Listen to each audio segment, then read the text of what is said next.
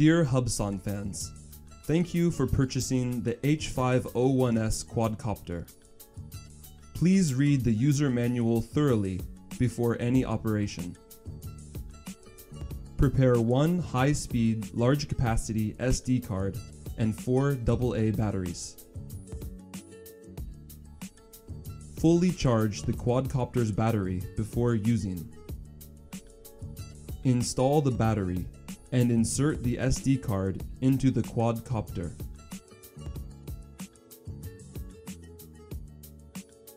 Make sure all the transmitter switches are in the downward position. Power on the transmitter and the quadcopter.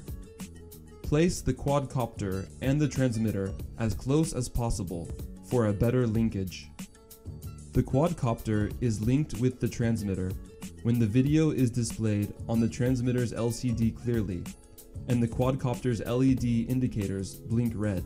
The compass calibration is required when the linkage is complete. Rotate the quadcopter clockwise until the LED indicators turn green and blink. Then put the quadcopter's nose downward and rotate it clockwise slowly. The calibration has succeeded when the green indicators are no longer lighted. For a better and safer flight experience, please calibrate the compass whenever you are in a new flight place. After the calibration, push the left stick to the left bottom and the right stick to the right bottom to start the motor. Check the sound and the speed of the motors to make sure the motors work properly. Do the same operation to stop the motors.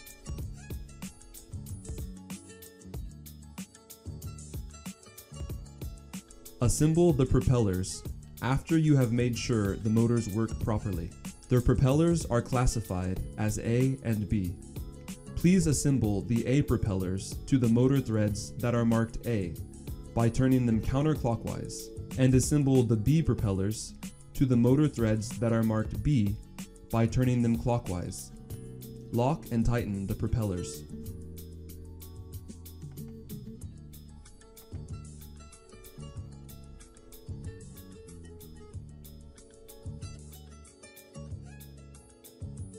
Place the quadcopter in a horizontal place. Check the vertical and horizontal angles, which are normally zero. When the angle value is more than 1, or less than negative 1, the quadcopter cannot ascend vertically. Then, recalibrate the compass in a manual mode as following. Pull down the throttle stick to the bottom position. Flip the GPS switch 7 to 10 times quickly until the quadcopter's LED indicators turn red and blink. Then the quadcopter enters into the compass calibration procedure. The compass calculates the quadcopter's position and height accurately when the GPS is with 6 satellites at least. If the GPS satellites are dropping, the quadcopter will drift. Please change to an open flight place or stop the flight until the GPS regains 6 satellites. Start the motors and the quadcopter is ready to fly. Switch on the GPS function and the LED indicators turn green and blink. When unlocking the motors, turn off the RTH switch. Otherwise, the motors cannot be unlocked. Make sure the GPS switch is open when you turn on the RTH switch. The following introduction is for the operations. Push the throttle stick up and the quadcopter will rise. Pull the stick down and the quadcopter will descend. Push the stick left and the quadcopter will rotate counterclockwise. Push the stick right and the quadcopter will rotate clockwise. Push the stick up and the quadcopter will tilt and fly forward. Pull the stick down and the quadcopter will tilt and fly backwards. Push the stick right and the quadcopter will tilt and fly right. Push the stick left and the quadcopter will tilt and fly left. There are two black trim buttons next to the two sticks, one for the rotation and the throttle, the other for the pitch and the roll. You can adjust the flight performance with the trim buttons when the quadcopter is drifting. An extra function of the throttle trim button is used to control the quadcopter's LED indicators. Long press the throttle trim button to power off the LED indicators. Do the same to power on the LED indicators. The GPS switch and the camera key are on the left. When the switches are in upper positions, functions are open. When the switches are in bottom positions, functions are closed. The RTH switch and the record key are on the right.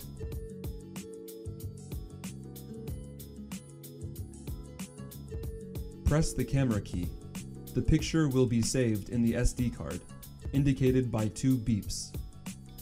Press the record key to start to record, indicated by one beep. The recording time is displayed on the transmitter's LCD.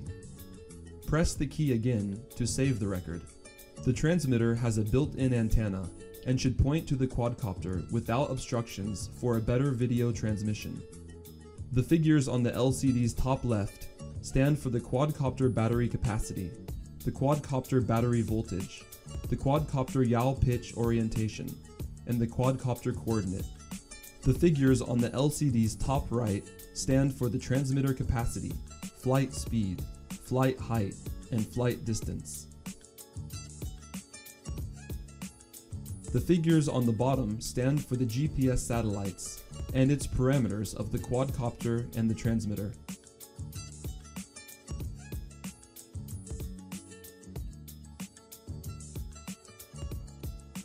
The transmitter sticks control the headless mode and the follow me mode.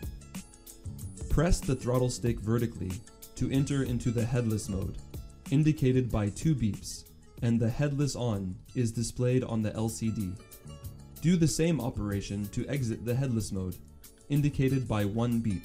Press the elevator stick vertically to enter into the follow me mode, indicated by two beeps, and the follow on is displayed on the LCD.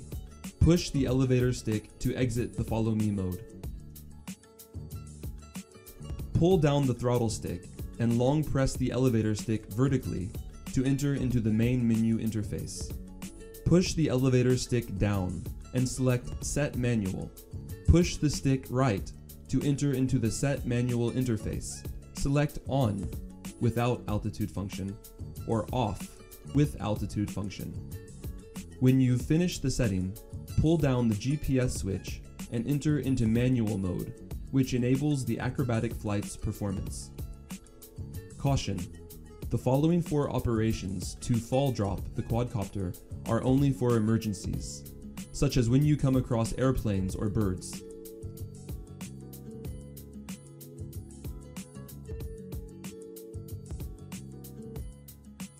This has been the introduction of the Hubsan X4 H501S quadcopter.